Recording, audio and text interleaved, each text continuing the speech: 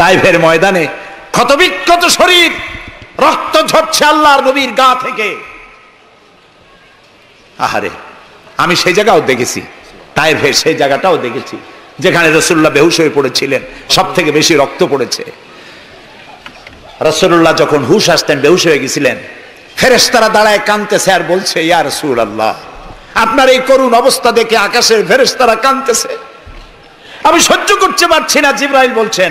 আমি হুকুম চাই, আপনি আমাকে হুকুম দেন, দুটা পাহাড় মিলায় দিয়া সব কাফের পিছে শেষ করে দিই। আল্লাহর নবী বলেন, জিব্রাইল, আমি যদি হুকুম করি, আমার হুকুমে যদি দুই পাহাড় দিয়া মানবগুলিকে সব যদি পিছে মেরে ফেলে দাও, একটা কাফেরও যদি না বাঁচে তাহলে কার কানে আমি পৌঁছাবো? ইলাহা ইল্লাল্লাহু মুহাম্মাদুর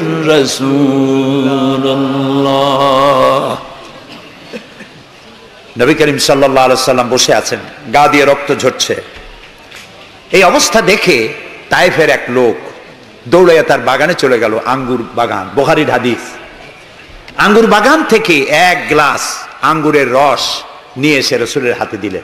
তিন দিনের না খাওয়া রসুল, তিন দিন। ক্ষুধার্ত, তৃষ্ণার্ত, ক্ষতবিক্ষত, জর্জরিত, নিষ্পেষিত, নির্যাতিত। এক গ্লাস শরবত হাতে পেয়ে বিসমিল্লা বলে শরবতটা পান করলেন। জিজ্ঞেস করলেন, তোমার নাম না আত্মাস তিনি বললেন হ্যাঁ আমার নাম আত্মাস তোমার বাড়ি হজরত ইউনুস আলাহ সালামের গ্রামে? তিনি বললেন হ্যাঁ।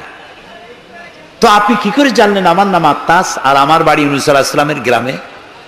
নবী করিম সাল্লাহ সাল্লাম বললেন আত্মাস ইউনুস আলাহ সাল্লাম নবী আর আমিও নবী, এক নবীর খবর আর এক নবীর কাছে থাকে। এক গ্লাস শরবত পান করে দুহাত উঁচু করলেন। নবীর চোখ থেকে দরদর করে পানি পড়ছে। তিনি বলছেন, রব্বুল আলমিন, এই তায়ের পাশে ওরা বোঝে নাই যে আমি তোমার নবী। ওরা বুঝতে পারে নাই যে আমি তোমার রসুল। ওরা না বুঝে আমাকে ক্ষত বিক্ষত করেছে আল্লাহ। তুমি এজন্য তায়ের পাশেদের উপরে গজব দিও না, তুমি শান্তি দাও, হেদায়ত দাও। দুনিয়ার সকল নবী কোন কোন ক্ষেত্রে অধৈর্য হয়েছেন। নবী করিম সাল্লা সাল্লাম কখনো অধৈর্য হন নাই। প্রিয় ভাই সব, সোলাইমান আলাহ সালাম রাষ্ট্র পেয়েছেন, পিঁপড়ার ভাষা বোঝেন। কার ভাষা? পিঁপড়ার রাজা আছে না? সেনেন পিঁপড়ার রাজা? মাঝে মধ্যে পরিচয় করেন। পিঁপড়ার রাজা কারা? মাথাটা মোটা, পিঁপড়ার রাজা আমরাও বলি। পিঁপড়ার রাজাকে হাতে নিয়েছেন, ডান হাতে। সুরায় নামলে আল্লাহ তারা বলছেন, পিঁপড়া কথা বলতেছে, পিঁপড়া বলছে, তার দলবলকে সোলাইমান আল্লাহ সাল্লাম আসতেছে, তার সৈন্য সামান্ত নিয়ে, পায়ের তলায় পিষ্ট হয়ে মরে যাবি, সব করতে লুকা। তিনি পিঁপড়া হাতে নিয়ে কথা বলতেছিলেন পিঁপড়ার সাথে। সাল্লাম কথা বলছেন, পিঁপড়ার সাথে। এখন পিঁপড়ার ভাষা আমি বুঝি। এতে একটা অহংবোধ সৃষ্টি হতে পারে। পিঁপড়ারও ভাষা আমি বুঝি। নবুয়তের শান দেখুন। পিঁপড়ার ভাষা বুঝতেছেন, সেখানে তিনি বিনয়ী হয়ে গেলেন আল্লাহর সামনে। তিনি বললেন, রব্বে আউজাইনি আন আশকুরা নিয়ামাতাকাল্লাতি আন আমতা আলাইয়া ওয়া আলা ওয়ালিদাইয়া। আয় আল্লাহ তাআলা, তুমি আমাকে ওই পরিমাণ শকর আদায় করার তৌফিক দাও আমাকে। যে পরিমাণ নিয়ামত তুমি আমাকে দান করেছ। ওয়ালা ওয়ালে দাইয়া এবং আমার মা বাপের প্রতি যতটা নিয়ামত তুমি আমাকে দিয়েছ। ওয়ান আমালা সালেহান তারদাহু। আর আমাকে এমন আমল করার তৌফিক দাও যাতে তুমি খুশি হও। ওয়াদখিলনি বিরাহমাতিকা ফি ইবাদিকা সলিহিন। আর আল্লাহ আমাকে এবাদের সালেহের মধ্যে শামিল করে দাও। সুবহানাল্লাহ প্রিয় ভাই সব আমার মূল বক্তব্য ছিল, এই সব সচ্চরিত্রবান, সুপার কোয়ালিটির মানুষ আল্লাহর নবীরা মার খেলেন কেন? শুধুমাত্র দাঁত মাজা, সুরমা লাগান, দাড়ি লাগান। আমি যদি আপনাদের বলি, সবাই দাড়ি রাখবেন। আপনারা কি আমার মারতে আসবেন? কেন মারবেন? আমি তো খারাপ কথা কিছু বলিনি এই জন্য মারামারি হয় না। মারটা হইল কেন? মার হয়েছে এই কারণে নবীরা বলেছেন, লা ইলাহা ইল্লাল্লাহ। আল্লাহ ছাড়া কোনো ইলাহা নাই, আইনদাতা নাই, বিধানদাতা নাই। একমাত্র আইনদাতা তিনি। এখন আল্লাহর আইনটা কি? সেটা আমাদেরকে বুঝতে হবে। সেটার দিকে আমি আগাচ্ছি, ইনশাআল্লাহ। নবী করিম সাল্লাহ সাল্লাম যখন এই কালিমার দাওয়াত দিলেন মার শুরু হয়ে গেল। যারা এতদিন বলছিল, আল আমিন কি বলছিল রসুলকে? আল আমিন। তারাই এখন নবী করিম সাল্লাহ সাল্লামকে পাগল বলা শুরু করল। রসুলকে পাগল বলা হলে আঘাত লাগে কার গায়ে? আঘাত লাগে কোথায়? আল্লাহর গায়ে বলা যাবে না, আল্লাহর অস্তিত্বে আঘাত লাগে। আল্লাহ রাব্বুল আলামিন এই কাফেরদের অপবাদের জবাবে আল্লাহ তাআলা প্রতিবাদ করলেন, তিনি বললেন ওয়ামা সাহিবুকুম বিমাজনুন তোমাদের সাথী পাগল নন তোমাদের সাথী বললেন আল্লাহ তাআলা। কেন? তুমি, তোমরা তো এই লোককে হতে দেখেছ। তার শৈশব, কৈশোর, যৌবন। আর এই বয়স পর্যন্ত তোমরা তাকে চোখের সামনে দেখেছ। পাগলামির কি দেখলে তোমরা তার ভেতরে? কেন পাগল বলো? তিনি পাগল নন। তিনি শায়ের নন তিনি জাদুকর নন তিনি গণক নন তিনি আমার নবী প্রিয় ভাইসব মুসলমানেরা মার খাচ্ছে পালিয়ে বেড়াচ্ছে বুহারি শরীফে এসেছে ওয়ান ওয়ান খাব্বাব বিনিল আরিত রাদিয়াল্লাহু তাআলা আনহু আন্নাহু قال شكونا إلى رسول الله صلى الله ওয়াহুয়া মোতাওয়াসাদুন বুরদাতুন লাহু ফি জিল্লিল কাবা। হাজরাতে খাব্বাব বলেন, আমরা অত্যাচারে অত্যাচারিত হয়ে একদিন নবী করিম সাল্লাল্লাহু আলাইহি ওয়াসাল্লামের কাছে গেলাম। যে দেখতে পেলাম তিনি কাবা শরীফের ছায়ায় চাদর মুড়ি দিয়ে আরাম ফরমাচ্ছেন। আমরা কাছে গিয়া বললাম, আলা তাদুলানা আলা তাস্তানসিরুলানা ইয়া রাসূলুল্লাহ। হে রাসূল মাইর খাইতে খাইতে আমরা শেষ হয়ে গেলাম। আমাদের মুসলমানদের উপরে আগুন চাপা দেওয়া হচ্ছে, পাথর চাপা দেওয়া হচ্ছে, বেলালকে উটের পায়ের রশিতে বেঁধে উট তাড়ানো হচ্ছে। ক্ষুদার জ্বালায় শেষ হয়ে গেলাম, ঘুমাইতে দেয় না, মাইরে অস্থির হয়ে গেলাম। হে রসুল, আপনি কি আল্লাহর কাছে আমাদের জন্য দোয়া করবেন না? আপনি কি আমাদের জন্য আল্লাহর কাছে সাহায্য, প্রার্থনা করবেন না? বহারির হাদিস।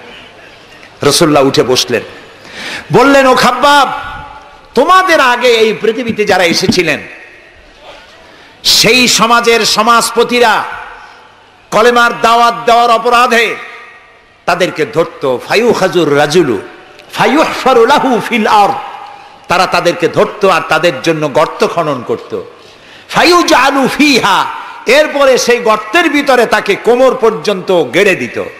সোম্মায়ু তাবিল মানসার এরপরে করাত আনা আনা হতো।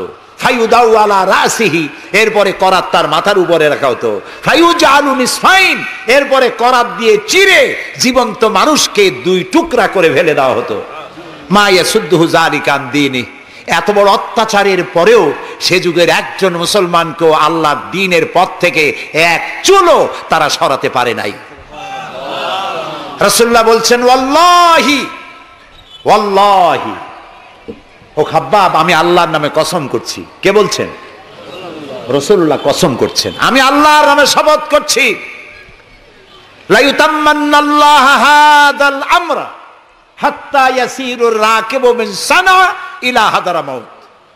সেদিন বেশি দূরে নয়। যেদিন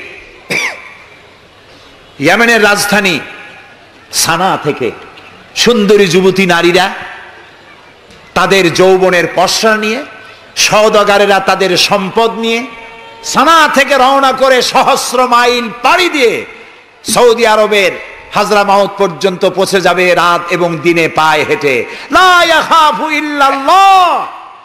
আল্লাহ ছাড়া কোনো ভয় তাদের অন্তঃকরণে থাকবে না। আবে যে আলা গানামি। তবে হ্যাঁ এটা ঠিক। লাইয়া খাফু ইল্লাল্লাহ যদি বলা হয়, আর কিছু না বলা হয় তাহলে তো বোঝা যাবে যে বাঘ এবং সিংহরও ভয় থাকবে না। নবীর কথায় কোনো ফাঁক থাকে না। আল্লাহর কথায়ও ফাঁক থাকে না, নবীর কথায়ও ফাঁক থাকে না। একজন ইলেম কালাম কম, যখন ওয়াজ করতে যাইতো, লক্ষ্য করতো যে সেখানে কোনো আলেম আছে নাকি। আলেম থাকলে অল্প কথা বলে শেষ করে দিত। তা আলেম আছে কিনা এটা পরীক্ষা করার জন্য বলছে যে, ভাইয়েরা, আমি আজকে একটা পাতা আর ওয়াজ করব। একটা পাতা। এবং তার ব্যাখ্যা এবং বিশ্লেষণ আমি আপনাদের সামনে আলোচনা করতে চাই। জনগণ বলেন আমরাও শুনতেই চাই, বলুন, পাতার ব্যাখ্যা কি? তিনি বলছেন, এমন একটি পাতা, এটি যদি মাটিতে পড়ে বাঘ হয়ে যায়, আর যদি পানিতে পড়ে কুমির হয়ে যায়, একজন দাঁড়ায় বলল, হুজুর, বুঝলাম, এ পাতার ফজিলত এমন, মাটিতে পড়লে বাঘ হয়, পানিতে পড়লে কুমির হয়। কিন্তু পাতাটি যদি অর্ধেক মাটিতে, অর্ধেক পানিতে পড়ে, তাহলে কি হবে? উনি বুঝলেন যে এখানে তো আলেম আছে। কাজী আমার ওয়াজ এখানে শেষ করি। ও আখরি দাওয়ান আলহামদুলিল্লাহ রবিল আলমী কথার মধ্যে ফাঁক থাকলে এরকম হয়। কিন্তু আল্লাহর কথা, নবীর কথায় কোনো ফাঁক নাই। আল্লাহ ছাড়া কোনো ভয় থাকবে না। কিন্তু গরু, ছাগল, ভেড়া নিয়ে যাইতে গেলে যদি জঙ্গলের বাঘ আক্রমণ করে, সে ভয় কি থাকবে না? আল্লাহ রসুল ব্যাখ্যায় বলছেন ইল্লাল্লাহ আবে যে আগানামি তবে তোমার ঘোড়া, তোমার সাথের ভেড়া, ছাগল, পশু যদি থাকে, তো তার উপরে বাঘের আক্রমণ এ ভয় থাকতে পারে। কিন্তু সম্পদ হরণ, সতীত্ব হরণ, জীবন হরণের কোনো ভয় থাকবে না, এমন সমাজ কায়েম হবে।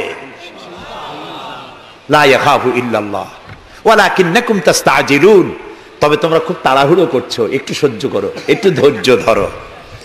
নবী করিম সাল্লাম একটি সুন্দর সমাজ উপহার দিলেন। আমি ইতিহাস থেকে আপনাকে শোনাতে চাই। রসুল্লাহ ইন্তেকাল করেছেন। ঐতিহাসিকরা লিখছেন, মদিনার এক যুবতী নারী কি সমাজ কায়েম করে গেল শোনেন। রসুল্লাহ ইন্তেকাল করেছেন। ঐতিহাসিকরা লিখছেন, সেই সমাজের একটি যুবতী নারী মদিনা থেকে কোনো এক আত্মীয়র বাড়ি বেড়াতে রওনা করেছেন যেতে যেতে আত্মীয়র বাড়ি পৌঁছবার আগেই সন্ধ্যা হয়ে গেল। মনে মনে ভাবলো, এখন যদি আমি কোনো পরপুরুষের সামনে পড়ি, তাহলে তো আমার সতীত্ব যাবে, অলঙ্কারাদিও যাবে, সারা জীবনের লালিত সম্পদ নষ্ট হয়ে যাবে। খুব ভীত সন্ত্রস্ত পদে এগোচ্ছে। আর বাঘ দেখা হরিণীর মতো তার চোখ এদিক ওদিক তাকাচ্ছে আর হাঁটতেছে। হঠাৎ দেখে দূর থেকে তার দিকেই এগিয়ে আসছে এক যৌবন ভরা এক যুবক। যুবককে কাছে আসতে দেখে যুবতী নিজের লালিত সম্পদ, সতীত্ব আর অলঙ্কার আদি হারাবার ভয়ে মাটির উপরে বসে পড়েছে। তার রুহু গলার কাছে এসে গেছে। ঐতিহাসিকরা লিখছেন, যুবকটি যুবতীর কাছে এসে দাঁড়িয়েছে। যুবতী মহিলার চোখের উপরে চোখ রেখে যুবক ছেলে বলছে, মা, আমাকে দিয়ে তোমার কোনো অনিষ্ট হবে না। তুমি কোথায় যাবে আমাকে বলো। আমি পাহারা দিয়ে তোমার গন্তব্যে পৌঁছে দেব। আমার পরিচয় শোনো, আমি মুসলমান। রসুল্লাহ এই মুসলমান বানিয়েছিলেন, এই সমাজ বানিয়েছিলেন। তাই আমি আফসোস করে বলি, মরা মানুষ জিন্দা হওয়ার কোন সুন্নত যদি থাকতো আর একজন সাহাবি যদি আজ জিন্দা হতেন, আর আমাদেরকে যদি দেখতেন, তাহলে চিৎকার দিয়ে বলতেন, আল্লাহর কাসাম রসুল্লাহ দান্দার মোবারক শহীদ করে সাহাবিরা জীবন দিয়ে যে মুসলমান বানিয়ে রেখে গিয়েছিলেন, আল্লাহর কসম, এগুলো সেই মুসলমান না। আমাদের চরিত্র এই পর্যায়ে পৌঁছে গেছে। রসুল্লাহ সাল্লাহ আলহি ওসাল্লাম ইসলাম দিয়ে মানুষকে একটি সুন্দর সমাজ দিয়েছেন। ইসলাম মানেই শান্তি। বলেন তো ইসলাম মানে কি? বলেন না, অর্থ কি? শান্তি। তবে শর্ত সাপেক্ষে, যারা আনুগত্য করবে তাদের জন্য শান্তি। আমরা একজন আর একজনের সঙ্গে দেখা হলে কি বলি? আসসালাম আলাইকুম।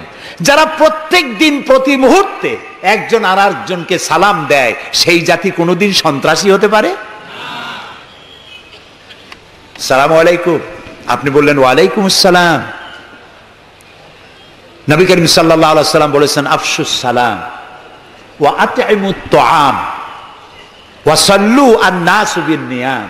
তাদখুলুল জান্নাতা তিনটি কথা। কয়টি কথা? শুনতেছেন আপনারা? এক নম্বর হচ্ছে, সালাম বিনিময় করো বেশি করে রসুল্লাহ বলছেন। একটা গাছের এপাশে বসে দেখা হয়েছিল, সালাম দাও। গাছটা ঘুরে আসছে, লোকটা আবার সালাম দাও। আমাদের দেশে অভ্যাস নাই। সব বসেরা চায় আমার অধীনস্থ লোকেরা আমারে সালাম দিক। রসুল্লাহ তার স্ত্রীকে সালাম দিতেন। এমনকি রাস্তা দিয়ে যাওয়ার সময় বাচ্চা পোলাপান খেলাধুলা করছে, তাদেরকে তিনি সালাম দিতেন। আমরা কি দেই? আমরা দেই না। হুজুররা মনে করেন মুরিদরা আমারে দেবে। মন্ত্রী মনে করে অন্যরা আমারে দেবে। এসপি মনে করে পুলিশ আমারে দেবে। কিন্তু সালাম যিনি আগে দেবেন, তিনি অহংকার মুক্ত সুবাহান্লাহ এবং এই সালাম অন্যরা বলে কি সুপ্রভাত? গুড মর্নিং গুড ইভিনিং শুভ সন্ধ্যা শুভরাত্রি এটার ব্যাখ্যা কি? সকালবেলায় দুইশো আশি মাইল স্পিডে ঝোড়ো হওয়া প্রবাহিত হচ্ছে। তিরিশ ফিট উঁচু হয়ে জলোচ্ছ্বাস হচ্ছে। মানুষ মরতেছে বাড়ির টিন উড়ে যাচ্ছে। সকালবেলা কেউ যদি যায় বলে গুড মর্নিং থাপড়ায় দাঁত ফালাই দেবে না? বেটা, এর সাইতে ব্যাড মর্নিং তো কখনো আসে নাই। রাতের বেলায় মা মারা গেছে। তার বাড়ি গিয়ে বলছে, গুড নাইট। কেমন লাগবে কন? সুতরাং ইসলামের বিষয়টাই মোর মোর সাইন্টিফিক। সুখে, দুঃখে, বিপদে, আপদে, সুখে, শান্তিতে, রাতে, দিনে, সকালে, সন্ধ্যায়, যখন দেখা হচ্ছে, একজন আরেকজনকে সালাম আসসালাম আলাইকুম। পয়সা লাগতেছে? কথা না কইলে বুঝব কি? বিনা পয়সায় আল্লাহ তোমার উপরে শান্তি দিক রহমত দিক। আপনি আরও বেশি করে কন ওয়ালাইকুম আসসালাম রহমতুল্লাহ ও বারাকাতুহু ও মাগফিরাতুহু। তারপরে কি করেন হাত দেন। কিছু কিছু লোক আছে হাত মোটে ছোয়ায় সবটা দিতে চায় না। আবার হাতটা দিয়া এরকম ঝাঁকি ঝাঁকি করে। মনে করে যত ঝাঁকি তত নেকি। এটা কিন্তু একটা পাগলামি। জি। আপনি হাত না চান কেন? ধরে রাখেন। আর বলবেন ইয়াগফিরুল্লাহুলি ও লাকুম। আল্লাহ তোমারও শান্তি দিক, আমারও শান্তি দিক। আল্লাহ তোমারও মাফ করুক, আমারও মাফ করুক। সুবহানাল্লাহ। সালাম দাও বেশি করে। কে বলতেছেন? আল্লাহ রসুল। বাড়িতে যে সালাম দেবেন, বউরে সালাম দেবেন। আপনার স্ত্রী আপনার কৃতদাসী নয়, আপনার সমান অধিকার তা।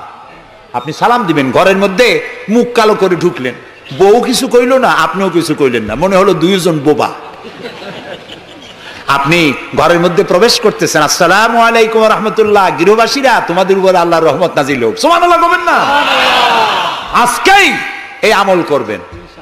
বাড়ি যাইয়ে বউরে সালাম দেবেন। তবে যারাদের কোনোদিন দেওয়ার অভ্যাস নাই তাদের একটা সমস্যা হইতে পারে। হঠাৎ করে সালাম দিলে বউ মনে করবে কপালে দুঃখ আছে বুঝে আসছে একটু বুঝাই বলে নেবেন। তবে আজকের থেকে সালাম শুরু হবে ঠিক আছে না ভাই? আজকের থেকে শুরু হবে। বাচ্চাকে বাড়ি থেকে বিদায় করছেন, স্কুলে যাচ্ছে। মা বাবা শিখায়, বাই বাই, টাটা, যাই যাই, খাই খাই। একটা কথা হইল বাচ্চা বিদায় হচ্ছে, বাচ্চার মাথায় হাত দিয়ে বলেন, ফি আমানিল্লাহ, তোমারে আমি আল্লাহর আমানতে ছেড়ে দিলাম। সুবহানাল্লাহ। কিসার বাই বাই, টাই টাই? আমরা মুসলমান। এই মুসলিম ট্র্যাডিশন মুসলিম কালচার বাঁচায় রাখতে হবে যে কোনো মূল্যে। ছেলেদের নাম রাখতে গিয়ে মন্টু, বল্টু, সেন্টু, ডবলু, আকাশ খাতুন, বাতাস বেগম। একটা নাম হইল। আচ্ছা ভাই, আপনি লক্ষ্য করেন তো, পৃথিবীতে কোন ইতিহাস সৃষ্টিকারী মানুষ, বল্টু আর মন্টু জাতীয় নাম আছে। পৃথিবীর কোন আলেম হজরত মাওলানা বল্টু সাহেব এখন ওয়াজ করবেন। এই যে মাজার দেখতে পান, ইনি হচ্ছেন হজরত পীরে বুজুর্গ খানানে খানান সেরাজুল সালিকিন মিসবাউল আরিফিন হজরত মাওলানা সেন্টু রহমতুল্লাহ মাজার। আছে এরকম? নাই। আপনি নাম যত খারাপ রাখবেন, আপনার সন্তান গুন্ডা হবে বদমাস হবে, চাঁদাবাজ হবে, জিনাকার হবে। নাম রাখবেন মুসলমানি নাম, ভালো ভালো নাম। আরবি নাম। আলেমদের কাছে জিজ্ঞাসা করে নাম রাখবেন যে এই নামটা কি রাখব আর নামের অর্থটা কি? আন্দাজে আবার নাম রেখেন না। কুয়েতে এয়ারপোর্টে একদিন বাংলাদেশের একজনের পাসপোর্ট দেখে পুলিশেরা হাসাহাসি করতেছে। কারণ কি? কারণ হলো পাসপোর্টধারী যিনি, তার নাম হলো জামাল মিয়া। আর পিতার নাম হলো তরিক মিয়া। জামাল শব্দের জামাল শব্দের অর্থ হচ্ছে উট। আর জামাল মিমে আলেপ দিয়ে যদি হয়, তাহলে হয় সৌন্দর্য। এখন জামাল মানে উট, মিয়া মানে একশো। ওর নাম একশো উট। আর তরিক মানে রাস্তা মিয়া মানে একশো ওর নাম একশো উট আর ওর বাপের নাম একশো রাস্তা। একশো রাস্তার ছেলে একশো উট। তা খালি আরবি রাখলে তো হবে না। নামে আরবির অর্থ কি? জি অর্থবোধক নাম রাখতে হবে। তাহলে আমি বলতেছিলাম রসুল্লাহর হাদিস। প্রথমে দিবেন সালাম আফসুস সালাম ও আম গরিব মিসকিনদেরকে দাওয়াত করে খাওয়াবেন। বন্ধু বান্ধবদের দাওয়াত দিয়ে খাওয়াবেন। খাওয়া খাওয়াইতে কিন্তু মহব্বত বাড়ে, চক্ষু লজ্জার সৃষ্টি হয়। খালি অপরের পয়সা দিয়ে রিক্সায় চড়বেন, রিক্সায় দুইজন উঠল একজন নামে হেঁটে চলে গেলো। একসাথে দুইজনে খাইলো আর একজনে খেলাল করতে করতে বাইরে গেলো, পয়সাও দিল। এই চালাকি এক সময় ধরা পড়ে যায়। এই জন্য মানুষকে বাড়িতে দাওয়াত দিয়ে খাওয়ানো রসুল্লাহ বলেন, দাওয়াত দিয়ে খাওয়াও। তাহাদু তাহাবু হাদিয়া দাও, মোহব্বত বাড়বে। কারও অসুখ হয়েছে, তার বাড়িতে একটু আঙ্গুর নিয়ে যাও, একটু কমলা নিয়ে যাও। তোমার শত্রু যদি হয়, চক্ষু লজ্জার সৃষ্টি হয়ে যাবে। কান্নাহু অলিউন হামিম। দেখা যাবে সে চরম দুশ্মন ছিল, সে তোমার বন্ধু হয়ে গেছে। সোমান আল্লাহ না? ওয়াসাল্লু আন্নাসু আর তিন নম্বরে, মানুষ যখন ঘুমায় থাকে, তখন তুমি নামাজ পড়িও। কোন সময় কোন তো ও, তাও তো আপনারা জানেন, মধ্যরাতের পরে যখন মানুষেরা ঘুমায় থাকে, তখন তুমি নামাজ পড়িও। এই রাত্রে কেন? কারণ মানুষের কাছে সব থেকে বড় ভালোবাসার সত্তাকে বলেন? আল্লাহ। তারপরে আল্লাহ রসুল। এখন, যাকে ভালোবাসি, তার সাথে তো প্রেম করতে হবে। প্রেম কি নোটিশ দেওয়া হয়? এস করে আজকেল হয়। কিন্তু ভালোবাসা। বিজ্ঞাপন দিয়ে হয় না, মাইকে। মাইকিং করে হয় না। ভালোবাসা হয় কিসে কন্ত? প্রেম কিসে হয়? লজ্জা করে বলতে, করছেন তো এক সময় গভীরে, রাতে, অন্ধকারে, একাকিত্বে ভালোবাসা হয়। তো মানুষের সবচাইতে প্রিয় হচ্ছেন আল্লাহ তালা প্রিয়তম। এর থেকে প্রিয় আর মুসলমানদের জন্য কেউ হইতে পারে না। দিনের কোলাহল পূর্ণ অবস্থার ভেতর দিয়ে তুমি তার সঙ্গে আবেগময় কণ্ঠে কথা বলতে পারবা না। এটা আল্লাহ তালা জানেন। তাই আল্লাহ তালা বলেছেন অজা আল্লাহ নাহারা মাসা দিন বানাইছি রোজগার করার জন্য। কাজ করো, বসে থাকবে না। ফাইজা কুদিয়াতি সালাদ ফান্তাশিরু ফিল আরদ। নামাজ পড়া হয়ে গেছে, মসজিদে বসে থাকতে পারবে না। অভিশাপ জহরের নামাজে রক্ত হয়েছে, অফিস বন্ধ করে নামাজ পড়ো, জহর পড়ো, সুন্নত পড়ো। নফল পড়তে পারবা না জহরের সময়। তসবি পড়তে পারবা না। কারণ এই তসবি পড়ে, নফল পড়ে, সময় নষ্ট করে পূর্ণ বেতন নিলে বেতন হালাল হবে না। মেডিকেল নিয়ে সুস্থ মানুষ সেল্লা দিতে যাবা, পয়সা হারাম। নেক পয়সা হবে না। হালাল পয়সা কামাই দিতে হবে।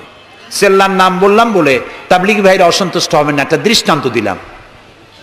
আমি তাবলিগি ভাইদেরকে শ্রদ্ধা করি, সম্মান করি। তারাও দিনের কাজ করছে। সুতরাং মসজিদের ভেতরে আপনি নামাজ পড়ে আল্লাহ তালা বলছেন, কি শোনেন? ফরজ। ফাইজা কুদিয়াতি সালাত ফান্তা শিরু ফিল আর্দ। নামাজ পড়া হয়ে গেছে, বেরিয়ে যাও। কোথায় যাও? দুনিয়ায় যাও। হাটে যাও, বাজারে যাও, কলে যাও, কারখানায় যাও, আদালতে যাও, শিক্ষা প্রতিষ্ঠানে যাও, চাষ করতে যাও। যাইয়া কি করো? অবতাবু মিন ফদ্দিল্লাহ আর আমার রিজেক, আমি যে তোমারে অনুগ্রহ করেছি, রিজেক দিয়েছি, ওই রিজিক তালাশ করে আনো। সুবাহান আল্লাহ প্রিয় ভাই সব হজরত মরদি আল্লাহ আনহু মসজিদের ভিতরে দেখলেন কিছু লোক বসা, জোহরে দেখলেন, মাগ, আসরে দেখলেন, মাগরিবে দেখলেন, এশায় দেখলেন। পরের দিন ফজরের সময় সেই একই জায়গায় কয়েকটা লোক, একই লোক দেখে জিজ্ঞেস করলেন, তোমরা কারা? বলল, নাহনু মুতাওয়াক্কিলিন, আমরা আল্লাহর উপরে ভরসা করি এবং আল্লাহর উপরে ভরসা করে এখানে জিকে রাজগার করি। খাও কি? কয় যে, আমাদের এই জিকে রাজগার দেখে পাশের লোকেরা ভাত লাইন দিয়ে খাওয়ায়। রসুল্লাহ বললেন, তোমরা তো মোতাক্কুলু, মোতাক্কিলুন। তোমরা তো অন্যের উপরে নির্ভরশীল, আল্লাহর উপরে তো নির্ভরশীল তোমরা নও। শোনো, আগামীকাল এই জহরের নামাজের পর যদি তোমাদেরকে এখানে বসা দেখি, ব্যাট মেরে মসজিদ থেকে বের করে দেব। মসজিদে নির্দিষ্ট সময় নামাজ পড়তে আসবে, বাকি সময় কাজ করতে হবে মানুষের জন্য, নিজের জন্য, জনগণের জন্য, রাষ্ট্রের জন্য। এর নাম ইসলাম। এর নাম কি? ইসলাম। বাস্তবমুখী। বৈরাগ্য নয়, আপনি দিন কায়েমের জন্য আল্লাহর বেশি জিকির রাজগার করার জন্য জঙ্গলে যাবেন। লা রাহাবানিয়াতা ফিল ইসলাম, ইসলামে বৈরাগ্যবাদকে সমর্থন করে না। কথা বুঝে আসছে? সুতরাং আপনি রাত্রি বেলায় দিনের কোলাহলপূর্ণ সময় আপনি আল্লাহর সাথে প্রেম করতে সময় পাচ্ছেন না। আল্লাহ তাআলা বলছেন ওয়াজা আল্লাহ লাইলা লিবাসা। ওয়াজা আল্লাহ নাউমাকুম সুবাতা। রাত্রে বানাইছি রাত্রিকে বানাইছি শান্তির আচ্ছাদন। সুবহানাল্লাহ বলবেন না? রাত হলো শান্তির আচ্ছাদন। তীর্যক রৌদ্রের তীব্র প্রখারকে বন্ধ করে দিয়ে। রাতের একটি অন্ধকারের চাদর দিয়ে কালো চাদর দিয়ে পৃথিবীটাকে ঢেকে দিলাম। আর একটু শান্তির জন্য চাঁদ আর তারকার নামে কিছু ডিম লাইট জ্বালাই দিলাম। গভীর রাত্রে ওঠো। মানুষ যখন ঘুমায় তখন তুমি সেজদায় পড়ে কান্দ রসুল্লাহ বলেছেন অনুশোচনা আর অনুতপ্তের এক ফোঁটা পানি নাকের অর্ধেক আসতে না আসতে আল্লাহ তাআলা ওই ক্রন্দনরত বান্দাকে মাফ করে এই তিনটি কাজ যে করবে কয়টা কাজ? তিনটি। এই তিনটি কাজ যারা করবে তাদখুলুল জান্নাতা বিসালাম আখরাজাহু মুসলিম। মুসলিম শরীফের হাদিস, রাসূলুল্লাহ বলছেন, এই তিনটে কাম করো, শান্তির সাথে জান্নাতে চলে যাবে। তাহলে যে জাতির জীবন ব্যবস্থার নাম কি? ইসলাম। আর আমাদের নাম মুসলমান। সব জায়গায় কিন্তু শান্তি। দেখা হইলে সালাম। আল্লাহর নাম কি? শান্তি। আর আল্লাহর এক নাম কি? সালাম আছেন আল্লাহর নাম? আল্লাহর নাম শান্তি। তারপরে নামাজ পড়ে শেষ করার পরই ডান দিকে বাম দিকে কি বলি? নামাজ পড়েও বলি, আসসালামু আলাইকুম রহমতুল্লাহ। জীবনের শেষ নামাজ কোনটা? জানাজা। তার শেষ কথা কি? আসসালামু আলাইকুম রহমতুল্লাহ। এরপরে মোমেনদের লাস্ট ডেস্টিনেশন দারাকা দার সালাম শেষ জায়গা কোথায়? জান্নাত। এই যাদের ধর্ম, এই যাদের দিন, এই যাদের জীবন ব্যবস্থা, সেখানে আল্লাহর আইন প্রতিষ্ঠার নামে বোমা মারা লাগবে? জবাব দেন। সন্ত্রাসী তৎপরতা করা লাগবে? কোন নবী কোন রসুল সন্ত্রাসী তৎপরতা চালিয়েছেন মানুষ হত্যা করেছেন এর কোন নজির আছে পৃথিবীতে? আছে। পৃথিবীতে নাই। আপনারা বলতে পারেন তাহলে রসুল্লাহ যুদ্ধ করছিলেন কেন? নবী করিম সাল্লাম যত যুদ্ধ করেছিলেন সব ছিল। ডিফেন্সি আত্মরক্ষা আত্মরক্ষামূলক। তিনি নিজে যুদ্ধ শুরু করেছেন এর কোন নমুনা নাই। একটি হাদিস পাওয়া যাবে না। যে নবী করিম সাল্লাম ক্ষমতা গ্রহণ করার পর সাহাবিদের রাতের বেলায় পাঠিয়ে দিয়েছেন, ওই গ্রাম আমার উপর ইমান আনে নাই, বাড়ি শুদ্ধ জ্বালায় দাও। হত্যা করো। বলেছেন? সুবহানাল্লাহ। বন্দিরা এসেছে। বন্দীদেরকে তিনি শর্ত করেছেন। বন্দীদের খাবার দিয়েছেন, থাকার দিয়েছেন আর বলেছেন, কোন বন্দী যদি একটা নিরক্ষর লোককে অক্ষর জ্ঞান সম্পন্ন করাতে পারে, স্বাক্ষর দিতে পারে, এই জ্ঞানটুকুন যদি দিতে পারে, এর বিনিময়ে তাকে মুক্তি দেওয়া হবে। আজকে আমেরিকা আমাদেরকে ভদ্রতা শিখায়। বন্দীদের সাথে তোমরা কি ব্যবহার করেছ? আল গরিব কয়েকখানায় কি অসভ্যর বর্বরতা তোমরা করেছ, পৃথি- পৃথিবীর ইতিহাসকে ম্লান করে দিয়েছ। সভ্যতার মুখে কালিমা লেপন করেছ। আল গরিব কয়েতখানার তারা কি করেছে? আমি ভাষা দিয়া ভদ্রলোকের সামনে তা উচ্চারণ করতে পারব না। গোয়ন্তানামা গোয়ন্তানামা বেতে, যেটা পৃথিবীর নরক বলা যায়, পৃথিবীর জাহান্নাম। মুসলমান কয়েদিদের সামনে কোরআন শরীফ খুলে কোরআনের উপরে পেশাব করেছে তারা। একজন মুসলমান হাত পা বান্দা, তার সামনে কোরআনে পেশাব করলে তার অবস্থাটা কি হয়? সে তো আত্মহত্যা করতে চায় তখন। আমার জীবন চলে যাক, কোরআনের অমর্যাদা তো সহ্য করা যায় না। তোমরা তাই করেছ। তোমরা এরাকে সত্তর বছরের বৃদ্ধা নারীকে দুই পার দুই হাতের উপরে ভর করে গাধার মতো বানাইয়া, তার পিঠের উপরে তোমরা চড়ে বাজারে বাজারে ঘুরেছো, তোমরা সেই জাতি। তোমরা নারীত্বের অমর্যাদা করেছ, মনুষ্যত্বের অমর্যাদা করেছ।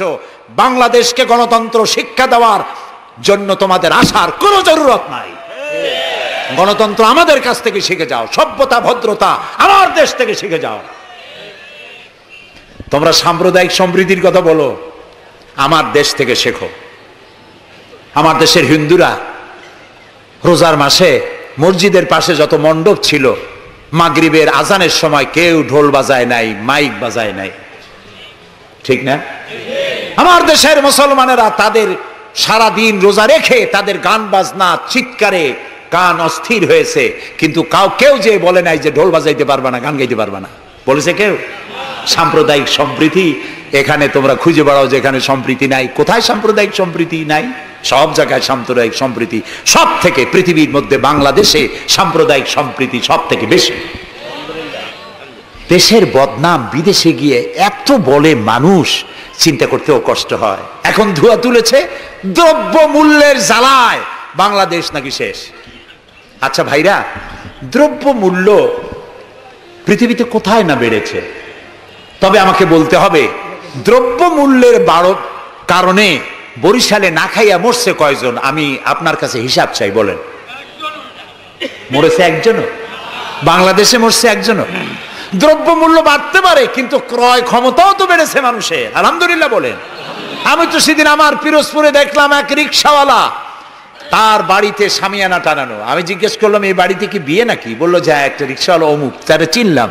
তার বাড়িতে বিয়া। সে বিবাহের জন্য পাড়েরহাট বাজার থেকে, ডেকোরেটর থেকে চেয়ার ভাড়া করে এনেছে সামিয়ানা এনেছে। সেজন্য ধার কর্য করতে হয়নি। সে পয়সা পেয়েছে। তার কাছে পয়সা আছে। বিজিডি, বিজিএফ তারপরে বৃদ্ধ ভাতা বয়স্ক ভাতা এরপরে মুক্তিযোদ্ধা ভাতা উপবৃত্তি টিয়ার কাবিখা বিভিন্ন রকমের বিভিন্ন পদ্ধতিতে মানুষের দুয়ারে ক্রয় ক্ষমতার জন্য সরকার টাকা পৌঁছে দিয়েছে। যদি চার পাঁচ বছর আগে সে কত পাইতো? আর এখন কত পায়? সেটাই কথা। এক টাকা যখন চাউলের সেট ছিল তখন মানুষ না খেয়ে মরতো। এখন বিশ বাইশ টাকা তা তো না খেয়ে মরছে না। আলহামদুলিল্লাহ বলে। আলহামদুলিল্লাহ বলে। সুতরাং এই সব বাজে কথা বলে মানুষকে বিভ্রান্ত করার কোনো সুযোগ নাই। যাক, এটা আমার পয়েন্ট না। আমার পয়েন্ট ছিল আল্লাহর আইন প্রতিষ্ঠার জন্য বোমা মারা সন্ত্রাসী তৎপরতার কোনো সুযোগ নাই। আজকে যারা বোমা মারতেছে, এই যে জালোকাটি মারলো না? কয়জন মারছে? দুইজন। যেটাই মারলো, এইখানে বসে তারে পুলিশে ইন্ট্রোগেশন করতেছিল। ইন্ট্রোগেট করার সময় তারে জিজ্ঞেস করল, তুমি মারলা কেন? কয় যে আমি আল্লাহর আইন প্রতিষ্ঠা করতে চাই, সে আল্লাহর আইনের বিরুদ্ধে অবস্থান নিয়েছে, বিচার করে, সেই জন্য তারে মারছি। আচ্ছা বিচারকরা কি আইন তৈরি করে? জবাব না দিলে বুঝব কি আমি? আপনারা সবাই শিক্ষিত, সিটি কর্পোরেশনের লোক, জবাব দিবেন ঠাস ঠাস করে পুরুষের মতো। বিচারকরা আইন বানায়। তৈরি করা আইনের উপরে তারা ডিসিশন দেন। এই যে আইনজীবী দুজন দুই পাশে আমার বসে আছে। ওনরা যে পার্লামেন্টের মেম্বার। আদালতে এই জন্য এমপি কে দেখাই দেয়। জি। তো এই যে দুইজন আইনজীবী বসে আছেন আমার পাশে ওনরা প্রতিষ্ঠিত আইনের উপরে ওনরা আর্গুমেন্ট করেন। আমার দেশে যত আইন আছে সিভিল ল যেটা সেখানে তো ইসলামী আইন আছে। আছে না বললেন কেন আন্দাজে? সিভিল লর মধ্যে আছে ক্রিমিনাল লর মধ্যে কিছুটা নাই। কিন্তু সিভিল লর মধ্যে আছে। মুসলিম পারিবারিক আইন। এটা তো আছেই। সুতরাং বিচারক মারা আইনজীবী মারা। এরপর বলল আচ্ছা তুমি যদি এখন মরো কয় যে আমি তো শহীদ হয়ে যাব। আরে উল্লুক তুমি শহীদ হবা কেমনে? তুমি তো মানুষ খুন করে আসছো। তোর তো জাহান নামে যাওয়া লাগবে। চট্টগ্রামে যে মারলো মা বোমা মারতে গিয়ে দুইটা হাত গেছে দুইটা পা চলে গেছে। তারপরে তাকে হসপিটালে নেওয়া হয়েছে। পানি চাইছে এক নার্স পানি দিয়েছে বাম হাত দিয়ে। সে কয় যে বাম হাতে পানি খাব না। তুই মুসলমান? কয় যে নার্স বলছে আমি মুসলমান। বাম হাত দিয়ে পানি দিলা কেন? আমি তো মুসলমান। নানের দিয়ে পানি দাও। আমি শুনিয়া পরে এক বক্তৃতা বললাম আসছে মানুষ খুন করিয়া ও এখন বাম হাত আর ডাইন হাত তালাশ করে। একজনের নাকি মোষ ছিল খুব বড়। আছে না এরকম কিছু মোষলা বড় মোষ ঠোঁট ঠোঁট ঢাকা। কিছু কবি বুদ্ধিজীবী এরা কোন রকম বুদ্ধিজীবী হইতে চাইলে এরকম একটু মোষ টোস বড় থাকা লাগে। চুল টুল পাঁচ ছয় মাস কামায় না এরকম একটা অবস্থা। আর মাথাটা ইন্টারন্যাশনাল এয়ারপোর্ট চুল টুল নাই স্টেডিয়ামের মতো। চতুর্দিকে কিছু দর্শক আছে মাঝখানে খালি। তো এইরকমের একজন মোষওয়ালা ঘন মোষ এত বেশি মোষ যে টর্চ মারিয়াও বোঝা যায় না যে লোকটা হাসে না কান্দে। ওই রকম এক মস্কা মশলা লোকের মদ খাওয়ার অভ্যাস ছিল। মদের গ্লাস বাম হাতে আর ডান হাত দিয়ে মোজগুলো উঁচু করিয়া বাম হাত দিয়ে মদ খাইতেছে বহুত কষ্ট করে একজন জিজ্ঞেস করল ভাই তুমি মদ খাওয়াতে এত কষ্ট করতেছো কেন? ঢকঢক করে গিললেই তো হয় মোজগুলো উঁচু করে নেছো। কয় যে ভাই হজরত ওলামাই কেরামের মুখে শুনছি পানি টানি কিছু খাইতে গেলে মোষ লাগলে মাকরু হয়। ও খাইতেছে মদ। ও মানুষ খুন করে আসছে আর ও বলতেছে যে আমি বাম হাতের পানি খাব না। বেটা তুই জাহান নামে যাবি। আল্লাহ তাআলা বলেছেন অমাই ইয়াকতুল মুমিনান মুতাআম্মিদান ফাজাযাউহু জাহান্নাম খালিদান ফিহা ওয়া গাদাবাল্লাহু আলাইহি ওয়া ওয়া আ'আদ্দা লাহু আযাবান আযীমা। আল্লাহ তাআলা বলেছেন, যে ব্যক্তি কোনো মানুষ হত্যা করে, মোমেন হত্যা করে, ইচ্ছে করে, তার একমাত্র শাস্তি হলো জাহান্নাম। কে বলতেছেন আল্লাহ তাআলা, জাহান্নাম। এবং আল্লাহ লানত এবং চিরকাল সে জাহান্নামে থাকবে। আল্লাহ তাআলা আরও বলছেন অমান কাতালা নাফসান বেগাইরে নাফসেন আও ফাসাদিন ফিল আর ফাকান্নামান ফাকান্নামা কাতালান নাসা জামিয়া যদি বিচারকরা বিচারের মাধ্যমে কাউকে মৃত্যুদণ্ড না দেয়, এরকম কোন মানুষকে কেউ যদি হত্যা করে, সে একটি মানুষ হত্যা করল না সেজন্য বিশ্বের সমগ্র মানব গোষ্ঠীকে হত্যা করল। একটা মানুষ হত্যা করার অপরাধ হচ্ছে বিশ্বের সব মানুষ হত্যা করার সমান। ওমান আহিয়াহা, আর কেউ যদি একটি মানুষকে বেঁচে থাকার সুযোগ করে দিল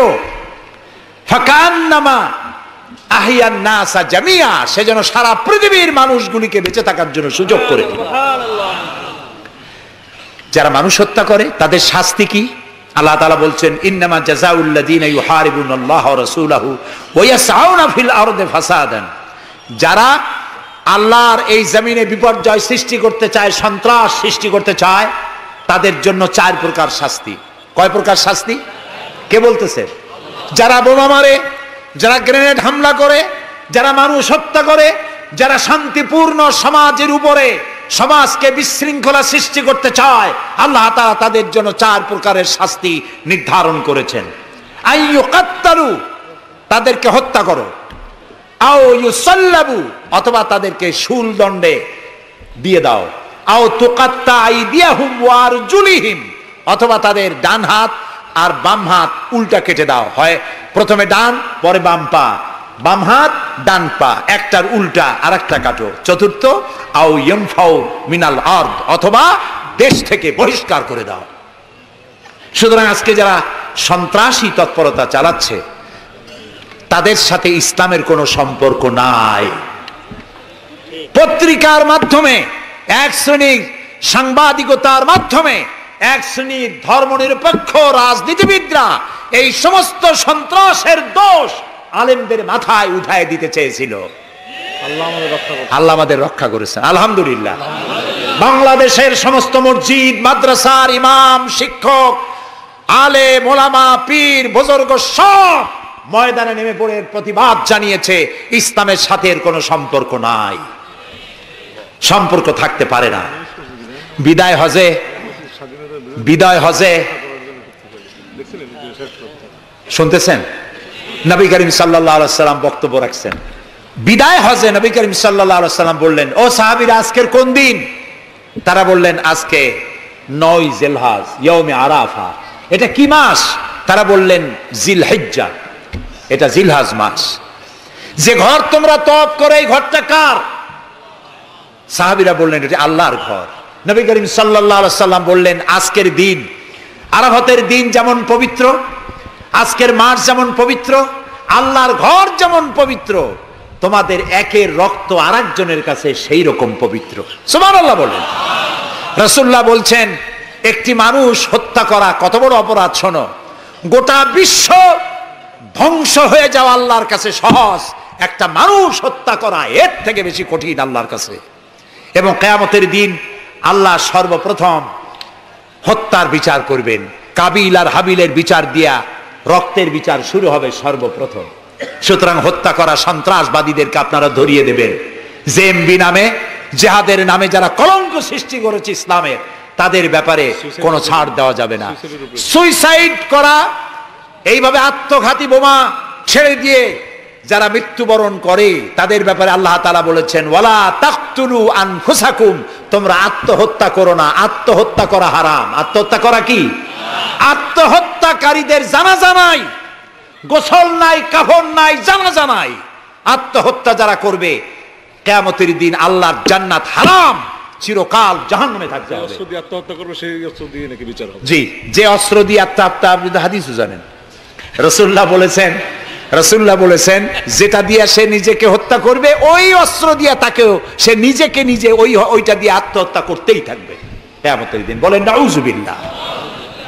প্রিয় ভাই সব আমি ইসলাম আপনাদের সামনে বুঝাচ্ছিলাম। মারামারি কাটাকাটির মধ্য দিয়ে ইসলাম আসে নাই। ইসলাম এসেছে ভালোবাসা, আন্তরিকতা, প্রেম, উদারতা, ঔদার্য, মহব্বত আর রসুলের অনুপম চরিত্র মাধুর্যের মধ্য দিয়ে ইসলাম প্রতিষ্ঠিত হয়েছে। এর থেকে শান্তির ধর্ম, এর থেকে ভালো জীবন ব্যবস্থা, এর থেকে সায়েন্টিফিক জীবন ব্যবস্থা পৃথিবীতে আর নাই।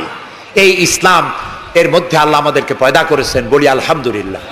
আজ আর বলব না। বাকি কথা বলব আগামীকাল ইনশাআল্লাহ। আর ঢাকা থেকে কয়েকটা লাইব্রেরি, মোবাইল লাইব্রেরি এসছে। এখানে বইপত্র পাওয়া যায়। বিশেষ করে যে কোরআনের তাফসির আমি করতেছি, এতক্ষণ কোরআনের ব্যাখ্যাই বলেছি। এই কোরআন শরীফের বাংলা অনুবাদ, আল কোরআন একাডেমি, লন্ডন, ওরা করেছে সাড়ে সাতশো পৃষ্ঠা। কোরআনে করিম, একদিকে আরবি আর একদিকে বাংলা। সুন্দর, সহজ সাবলীন অর্থ করা। এটি মাত্র একশো বিশ টাকা হাদিয়ায় তারা দেয়। এটি ছাপা খরচও না, শুধু মানুষেরা বেশি করে জানুক, সেই জন্য তারা বিতরণ করছে। আপনারা নেওয়ার সময়, যাওয়ার সময় নিয়ে যাবেন। আর তাফসির জানার জন্য তাফিমুল কোরআন, বর্তমান বিশ্বের শ্রেষ্ঠ তাফসির তাফিমুল কোরআন পড়ার আহ্বান জানাচ্ছি। এখন মোনাজাত হবে। আগামীকাল আপনারা আপনাদের ভাই, আত্মীয় স্বজন সবাইকে নিয়ে আসবেন। যাতে ইসলাম কি, তার ব্যাখ্যা পূর্ণাঙ্গভাবে আমরা জানতে পারি। উনিশ নম্বর আয়াত সুরে আল ইমরানের ব্যাখ্যা কালকে দেওয়া হবে। ربنا ظلمنا أنفسنا وإن لم تغفر لنا وترحمنا لنكونن من الخاسرين আয় আল্লাহ তাআলা হাজার হাজার মুসলমান নরনারী দীর্ঘক্ষণ ধরে তোমার কোরআনের কথা শুনেছি নবীর কথা শুনেছি আল্লাহ তাআলা মেহেরবানি করে আমাদের জিন্দিগির গুনাহ খাতাকে মাফ করে দাও রব্বুল আলামিন তাম পৃথিবীর মাটির নিচে যত মোমেন মোমেন শুয়ে আছে তাদেরকে ক্ষমা করে দাও আল্লাহ তালা আমাদের প্রিয় জন্মভূমি বাংলাদেশের উপরে তোমার রহমত নাজিল করো। হ্যাঁ আল্লাহ তালা এই দেশে শান্তি, শৃঙ্খলা, সমৃদ্ধি, এদেশের গণতন্ত্র, এদেশের সাম্প্রদায়িক সম্প্রীতি, এদেশের অখণ্ডত্ব, অস্তিত্ব, কেয়ামত পর্যন্ত তুমি অক্ষুণ্ণ রাখো। আল্লাহ এদেশে যারা বিশৃঙ্খলা সৃষ্টি করতে চায়, নৈরাজ্য সৃষ্টি করতে চায়, আল্লাহ তারা এখানে যারা সন্ত্রাসী তৎপরতা চালাতে চায়, তাদের হেদায়েত করো। তাদের হেদায়েত করো। হেদায়েত যদি ওদের নসিবে না থাকে, তাহলে এই দুষ্টদের হাত থেকে, এই দুষ্ট রাহু, এর থেকে আল্লাহ তালা এদের কবল থেকে, এদের খপ্পর থেকে, এদের ষড়যন্ত্র থেকে, এদের চক্রান্ত থেকে ছাপ্পান্ন হাজার বর্গ মাইলের এই ছোট্ট দেশ আর এই চোদ্দ পনেরো কোটি মানুষকে আল্লাহ তুমি রক্ষা করো। আগামীকাল এ মাহফিলের শেষ দিন। তোমার বান্দা বান্দিদেরকে বিপুল পরিমাণে এসে কোরআনের কথা শোনার এবং আমল করার তৌফিক দিয়ে দিও। রব্বানা তাকাব্বাল মিন্না ইন্নাকা আনতাস সামিউল আলিম ওয়া তুব আলাইনা ইন্নাকা আনতাত তাওয়াবুর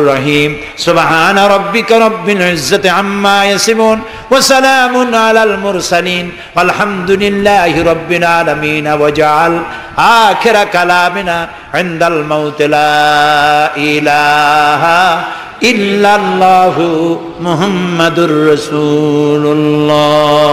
আসসালামু আলাইকুম ওয়া